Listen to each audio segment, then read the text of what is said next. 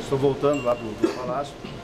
Fui fazer a prestação de contas do dia para o presidente de como andam as nossas negociações, as nossas preocupações com respeito à operação carne fraca. Né? A minha preocupação nesse momento é com os mercados, os mercados, ah, tanto o mercado interno, tanto o mercado interno quanto o mercado externo também. É, o mercado interno a gente tem, tem mais controle, nós podemos fazer as alterações necessárias de legislação, de decretos, ou o que for necessário para a proteção do nossos, uh, dos nossos consumidores. Agora, no mercado externo, nós temos que, temos que correr, e por isso eu estou é, correndo bastante com a minha equipe, porque nós não podemos é, permitir o fechamento. Né? Uma vez que haja o fechamento de um mercado desse, para você reabrir serão muitos anos de trabalho. Portanto, a, a nossa preocupação, então, nesse momento, não, é, é, é não deixar sem resposta a todos as, a, os pedidos e informações que os mercados internacionais estão, estão nos pedindo nesse momento. fazer um Específico, posso, vou fazer um balanço. Especificamente, China. É, a China hoje tomou a decisão de não permitir o desembaraço de contêineres do Brasil que estão nos seus portos. O que, que é isso? Foi descarregado os navios, poderão ser descarregados os navios que lá aportaram porém não pode se é, fazer o desembaraço, quer dizer, o contêiner não pode sair do porto para ir em direção ao consumo. Isso, isso é a China. Uh, hoje à noite, às 21 horas, uh, o nosso pessoal de, da área de defesa animal fará uma, uma teleconferência com os técnicos da, da China, aonde será colocado nesse momento também novos pontos, uh, novas explicações e vamos ouvir se eles têm mais alguns pedidos para nos fazer. Esperamos que com essa conversa da noite a gente consiga é, é, minimizar é, essa questão que a China colocou. Que, questão, eu vou, vou na sequência. Questão da comunidade europeia. Como já eles uh, nos comunicaram oficialmente de que eles não tomarão nenhuma atitude contra o Brasil a não ser sobre as 21 plantas que estão aí sob suspeita, que estão sendo investigadas por nós. Das 21 plantas, eh, dos 21 CIFs que estão aí colocados, quatro deles exportaram para a comunidade europeia. Então a, Europa suspendeu, suspendeu esses CIFs lá e nós suspendemos aqui também. Nós não vamos emitir certificado de exportação para a Europa desses, desses CIFs. Então, para, para a Europa a situação é essa. Não há nenhuma retaliação, e sim uma preocupação até nós esclarecermos tu, tudo isso. Questão do Chile, houve um comunicado hoje também, nós ainda não temos a dimensão de qual comunicado que o Chile eh, fez, se é, se é restrito aos, aos 21 CIFs que nós temos ou se é todo o mercado. Nós vamos negociar com eles esse assunto. Também Egito nos comunicou hoje eh, sobre, sobre essa possibilidade e a Rússia, que é uma outra preocupação, um ponto sensível que nós temos, ele, ele está observando os movimentos que a comunidade europeia está fazendo. Nós esperamos também, eh, com a definição da Europa, a gente começa a clarear mais esse assunto do que poderá acontecer com o mercado brasileiro aí fora. Coreia do Sul, ministro. Coreia suspendeu é, a BRF. A única empresa, ele suspendeu por empresa a, a BRF, portanto, o, o, restante das empresas que exportam para lá não tem problema nesse momento. Os embarques brasileiros nos portos daqui que estão indo, eles estão dependendo dessas negociações lá ou tem alguma previsão de embarque de navios? Não, as, uh, nós não temos nenhuma restrição de embarques. É óbvio que as empresas têm que levar em consideração que nós temos uma negociação nesse momento que poderá ficar ruim ou poderá ficar boa. Eu, particularmente, se fosse uma empresa dessas, eu não faria embarque nesses dias até esperar uma definição final do que vai acontecer, uh, principalmente em China. O senhor vai acompanhar amanhã, ministro, no Paraná? Qual, qual é a previsão de fiscalização do governo nessa força-tarefa? É, nós vamos fazer um, uma visita, um acompanhamento a um dos CIFs que está sob investigação é, permanente e mais rigorosa. É, inclusive convidamos a imprensa de vocês aqui, alguns é, correspondentes internacionais que possam também estar conosco, conhecer o sistema que nós temos implantado nesse CIF. Qual foi o resultado da auditoria feita hoje, ministro, nos frigoríficos? Em qual frigorífico, qual balanço? Não, eu não tenho esse, esse, número. Nós temos gente praticamente em todos os frigoríficos. Ah, nós esperamos, hoje o secretário Rangel me disse que em três semanas ele finaliza todas essas inspeções e que cada semana, no final de cada semana, nós vamos fazer um esclarecimento ao público do que encontramos e quem está livre, enfim, como as coisas devem andar daqui para frente. Ministro, quais países receberam... Hoje tem alguma previsão, é, até para o brasileiro ficar mais calmo, enfim, é, do consumo? Olha, eu diria ao consumidor brasileiro, como estou dizendo aos estrangeiros, não há qualquer preocupação nesse sentido. Os nossos sistemas, eles estão funcionando, ele, ele é muito forte, ele é rígido, ele é previsível.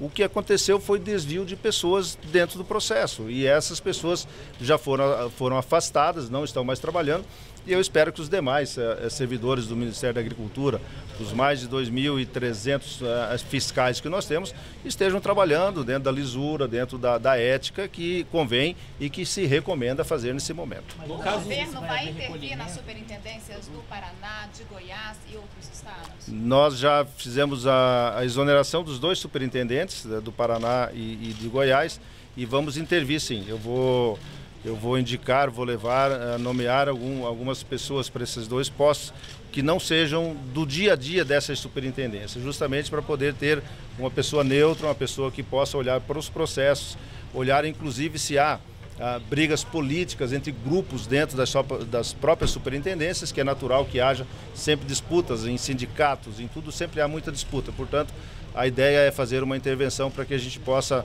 ao entregar lá na frente, após período de intervenção, sem nenhuma, sem nenhuma rusga dentro desses processos. Ministro, esses seis, esses seis frigoríficos, ou seis plataformas que exportaram para fora, que exportaram foram, para foram, foram quatro. Ela, foram quatro. É, tem alguma recomendação no sentido de que esse produto seja é, impedido para o consumo até se fiscalizar? Alguma orientação nesse sentido? Os senhores vão recolher no Brasil é, esses produtos que estão sob investigação? Nós vamos, uh, já estamos a campo fazendo uh, nos supermercados, coletando amostras dos, desses produtos, desses CIFs que estão aí envolvidos, mandando a laboratórios e se nós detectarmos algum problema, obviamente nós vamos recomendar a, a suspensão e recolhimento desses produtos. Eu, sinceramente, não creio que nós teremos problema nisso.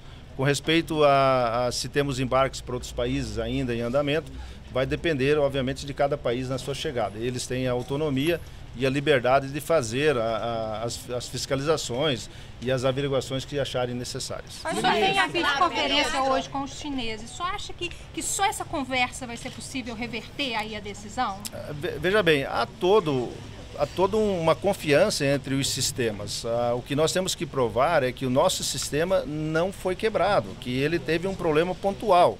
É, sempre que uma empresa, um governo, uma empresa chinesa, por exemplo, ele importa produto do Brasil, antes de começar a importação, ele manda uma equipe de técnicos aqui que vem, fazem as vistorias nas plantas, uh, conversa com as pessoas, olha os procedimentos. Então, o nosso sistema é checado permanentemente. Eu, nós temos uma dúvida nesse momento e nós estamos dizendo, então, nós, governo, nós, Ministério da Agricultura, Secretaria de Defesa Agropecuária, está reafirmando mais uma vez em carta, em compromisso público, dizendo que não há problema, que nós atestamos a qualidade dos nossos produtos. Vocês viram ontem, o, presidente anunciou, nós havíamos passado esse número, é, 853 mil embarques que foram feitos no ano passado, contêineres, apenas 187 tiveram algum tipo de inconformidade. Eu vi hoje pela manhã uma declaração de, um, de uma pessoa na Europa também, da comunidade europeia, dizendo que desde 2015 não há nenhuma inconformidade nos processos que nós mandamos para lá. Então, tudo isso atesta que nós somos um, um sistema, temos um sistema seguro. Ministro, qual é a representatividade desses países que já anunciaram medidas enquanto compradores? Ou seja, se todos eles pararem de comprar a carne brasileira, o que, que vai acontecer para as exportações de carne? Desastre. É, com toda certeza um desastre, porque a China é um grande importador nosso, a comunidade europeia, além de ser o nosso segundo ponto de, de exportação, é também o nosso cartão de visitas. Quem vende para a Europa vende para muitos países é, que muitas vezes nem pedem fiscalizações nossas, porque sabem que nós temos um, um sistema bom. Então eu, eu quero eu torço, eu rezo, eu penso, eu trabalho para que isso não venha acontecer. Você fala da polícia, a China, você espera reverter hoje às 21 horas nessa conferência. Com o Chile, União Europeia, quando vai ser essa negociação para tentar reverter essa suspensão temporária? A, a comunidade europeia, eles, eles devem estar vindo agora à tarde aqui no Ministério para comunicar oficialmente a decisão deles, de que fica circunscrito nos 21 CIFs que nós estamos aqui sob suspeita e que apenas quatro deles exportaram para a Europa. Então a suspensão para a Europa se trata de quatro. Isso já está, está definido. Com o Chile, eu só tenho a notícia. Eu quero conversar com o pessoal do Chile. Nós temos uma relação de comércio bastante boa e eu quero crer E vou trabalhar para que também, se o Chile tem alguma restrição, que fique é, circunscrito nesses Quando 21. vai essa conversa com o Chile? Ah, na sequência, hoje ou amanhã, a gente não, não tem agenda deles.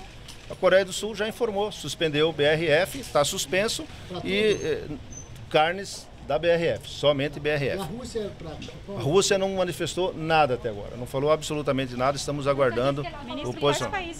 Não, não, não, eu não disse que ela disse, eu estou dizendo que ela está observando, eu penso que ela está observando o que está acontecendo na Europa para se posicionar também. Quais países receberam produtos desses 21 frigoríficos?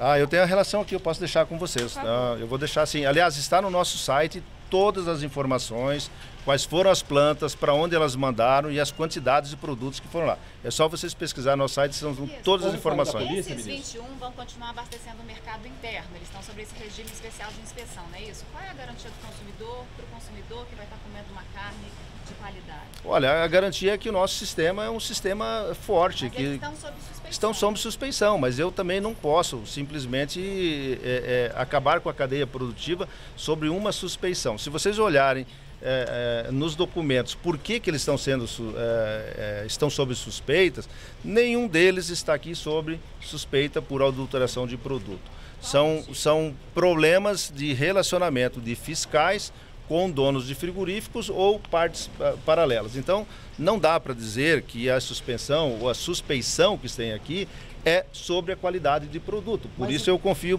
plenamente de que nós vamos avançar nesse Agora, assunto. ministro, enquanto não tiver essas análises das amostras que estão sendo recolhidas nos supermercados, eh, fica também essa dúvida, né? Quando é que o senhor vai ter uma resposta para dar?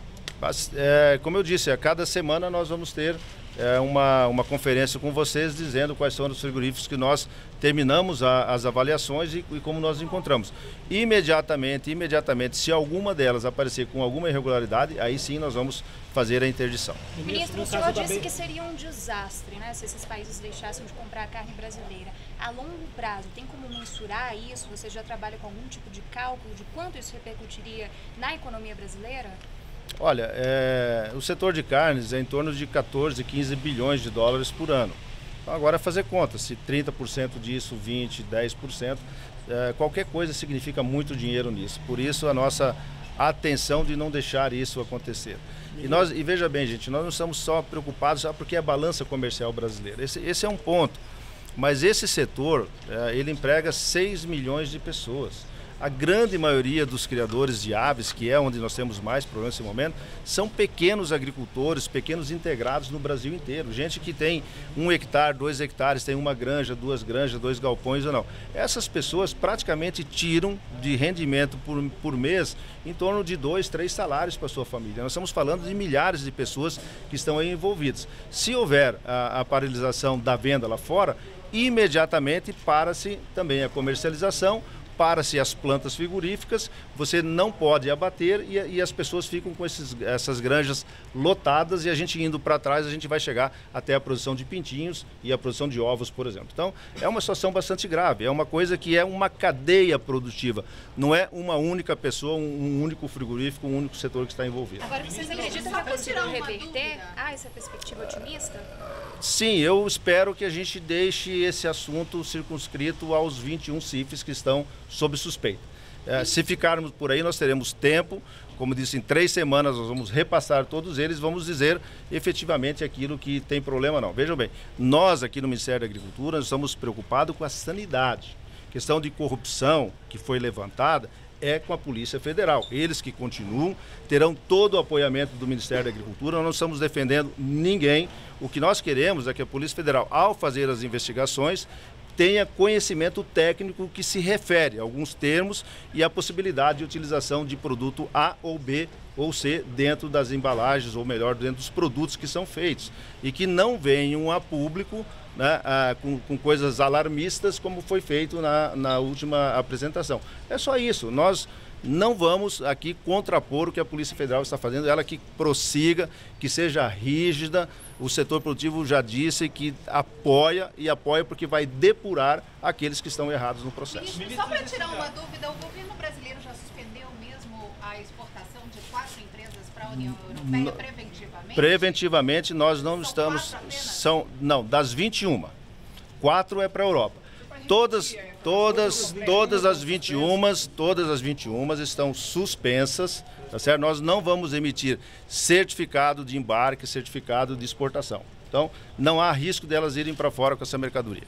Isso com relação ao Chile, o Chile confirmou a suspensão é, da importação, deve soltar uma nota oficial a qualquer momento. É, da América Latina, o Chile é o único? É, eu não sei se o Chile está falando das 21 plantas ou está falando do total. Eu quero crer que seja das 21. E eu quero dizer para vocês com toda tranquilidade: qualquer país que criar qualquer embaraço para o Brasil dentro das 21 plantas aí colocadas, 21, está absolutamente certo, correto. Nós teríamos que ter o mesmo procedimento se nós fôssemos o comprador de uma mercadoria de um país e lá tivesse alguma suspeita. No mínimo, eu tenho que dizer calma, deixa eu olhar os procedimentos para depois seguir.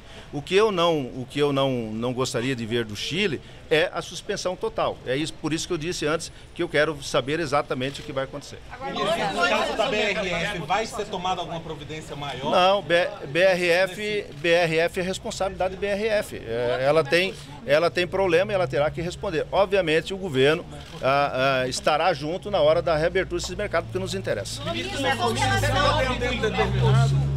âmbito do Mercosul, o, o fato do Chile tomar essa iniciativa pode causar é, é, a, sequência de que outros países é, acompanhem a decisão do Chile? O senhor ah. preocupa, o senhor preocupa com isso? Pode, daqui para frente tudo pode. Agora nós também temos os nossos, uh, nossos pontos de argumentos e vamos argumentar. Nós somos grandes importadores de vários produtos do Chile também, como peixe, como frutas, maçãs, e que os produtores brasileiros vivem reclamando que nós deveríamos criar barreiras para fazer isso. Quer dizer, então. Ah, olha, comércio é assim, né? não tem só bonzinho no comércio. O comércio tem que ser feito e muitas vezes na cotovelada. Se eu tiver que ter uma reação mais forte com o Chile, eu terei, não há dúvida nenhuma. Eu digo que se eu, ter, se eu tiver que ter uma reação mais forte para proteger o mercado brasileiro, eu farei com toda tranquilidade e já, e perdão, e já pedi isso ao presidente Temer na reunião, se eu tinha a sua autorização, a sua aquiescência para ser um pouco mais duro nessa questão, e ele me disse que sim.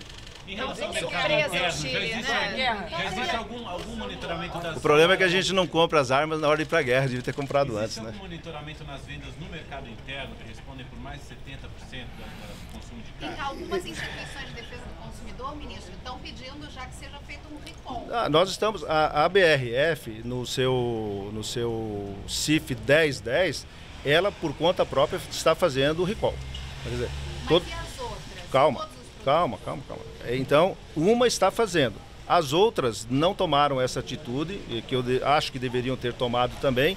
E nós estamos então fiscalizando e assim que nós levantarmos algum problema que tiver, nós vamos fazer a recomendação do recall. Mas já existe algum indicativo de impacto em vendas no mercado interno? Não, não, não existe. Eu acho que o mercado está rodando normal. As pessoas uh, entendem que nós temos um problema, uh, um problema muito mais de comunicação, muito mais de, de, de percepção do que propriamente nas prateleiras do mercado. Eu acho que todos nós, todos nós que vamos ao mercado devemos olhar a data de vencimento, aspecto do produto. Acho que nós fizemos parte do processo, somos os consumidores e devemos uh, devolver o produto que acharmos que não está em condições. Ministro, tem um prazo para suspensão?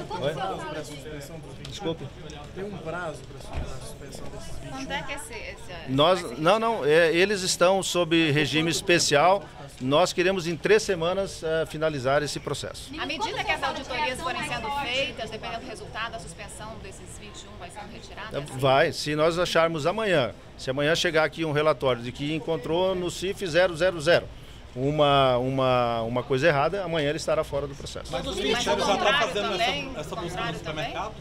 Está fazendo. Já está fazendo. quando você fala de reação mais forte com relação, por exemplo, a uma suspensão total do Código do Chile, o Brasil pode suspender exportações chilenas para cá? É isso? Eu vou avaliar isso, com toda certeza. O senhor ficou particularmente surpreso com o Chile? Porque ontem o embaixador do Chile chamou a atenção por falar que tinha muita tranquilidade, que eles inspecionam em loco antes de exportar. E foi o embaixador que estava mais otimista. Ele, ele tem razão, é assim que funciona. Porém, eu também disse antes, qualquer país que recebe o comunicado de que o Brasil exportou produtos para o seu mercado, de, de empresas que estão sob suspeita, É claro que tem que ter uma reação do outro país. Eu já disse, nós mesmos deveríamos fazer e faríamos isso aqui no Brasil. Agora, eh, eu espero que isso esteja circunscrito, mais uma vez, aos 21 que nós estamos eh, com problema nesse momento. Ah, mas, mas se daqui a pouco, daqui a pouco aparece mais dois, três. Se aparecer mais dois, três, nós vamos incluir mais dois, três, quatro, cinco que aparecer. Nós vamos ser transparentes no processo. Coreia do Sul, o senhor tem confirmação da Coreia do Sul? Ah, tem um documento que chegou da Coreia, porém está sendo traduzido em coreano e aí aqui ninguém traduz coreano, foi pedido para fazer fora. Ministro, E aí não dá para fazer no, no, no, no, no- no Google, no tradutor, porque mantido para as 21, É. já conversa com a Ministro, China. essas Às 21 adiante. plantas que elas, elas têm representação no consumo no Brasil em todos os estados? É, desculpa, eu não entendi. As 21 plantas. Não, não, não, não. então. Não, gente, eu vou pedir para vocês acessarem o site do Ministério, está tudo lá. Tem mu- muitas empresas, essas 21 são empresas locais, que são empresas pequenas e não têm inserção nacional. Ministro, só para esclarecer, as 21 é, as- a- estão suspensas as exportações, mas as, o consumo para consumo interno não. Não, não está suspenso. Não, não está suspenso. Ministro, ministro, Mas tudo vai ter que passar pelos auditores do Ministério da Agricultura. Certamente, to- todo e qualquer produto para ser embarcado numa dessas plantas, dessas 21, está passando por um rigoroso processo de fiscalização, acompanhado por técnicos do Ministério da Agricultura que não fazem parte do dia a dia daquela empresa. Eu acho que isso é um ponto que tem que ser ressaltado, que nós estamos dando a garantia, porque colocamos lá, eh, entre aspas, um, um interventor na saída desses produtos. Sobre China, sobre China, sobre China, às 21 horas, o que que será dito à China hoje? Será dito o que eles perguntarem. Eu não sei o que eles vão perguntar. Tecnicamente, quais explicações serão dadas? Já, já demos as explicações que isso é um processo eh, circunscrito a 21 CIFs que nós temos. Eh, da China, desses 21, só tem um que exportou para lá.